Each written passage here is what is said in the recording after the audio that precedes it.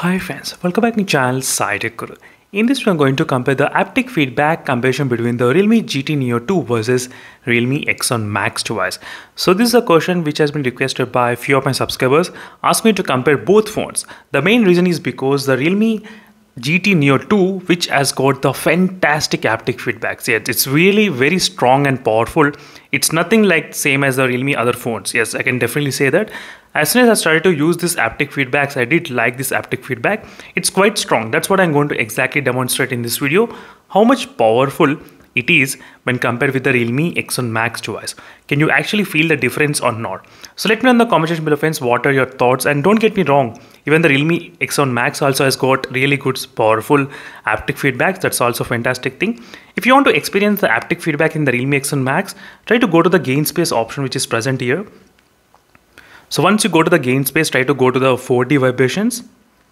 So there's an option 4D vibration try to click try now here whenever you click the try now try to hold the phone on the top side and the bottom side so which has got really very good haptic feedback. So that don't get me wrong but this realme gt neo 2 has got slightly strong haptic feedback slightly.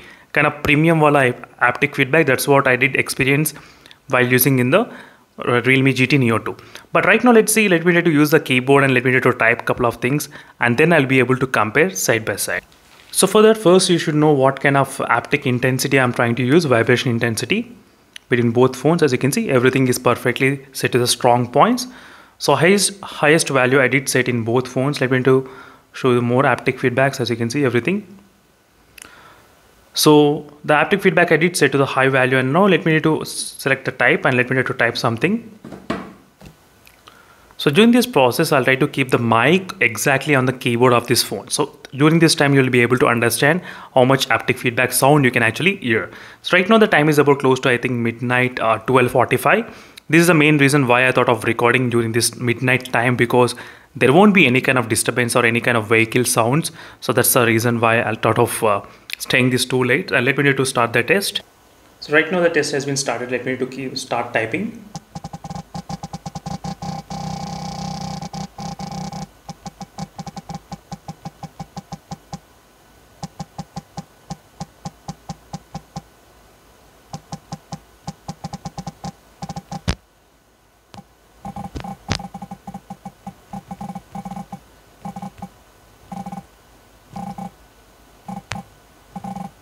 Now let me need to type on the Realme X7 Max. This is the Realme X7 Max which I'm trying to keep. Let's see what happens on the Realme X7 Max.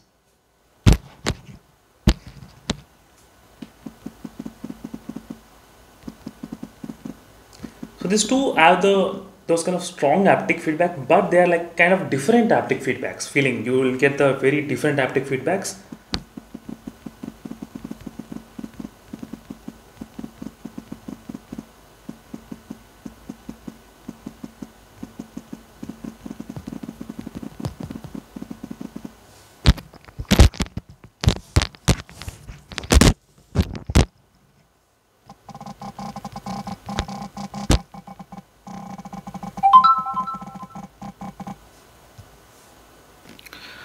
Thus event this is a quick comparison which I thought just uh, demonstrating you so you get get a, a, clear idea what is going on between these both phones in terms of the haptic feedbacks. Let me know in the comment section below friends what do you think about these both phones. So which haptics do you feel is really powerful and strong enough? So let me know in the comment section below. And that's it friends. Thank you for watching this video and stay tuned for updates. So meanwhile signing off and don't forget to check the playlist for more information. Until then, bye.